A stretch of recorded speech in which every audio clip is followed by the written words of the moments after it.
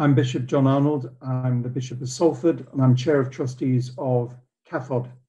Let's pray for Father Stan Swamy, for his courage and strength in enduring such injustice.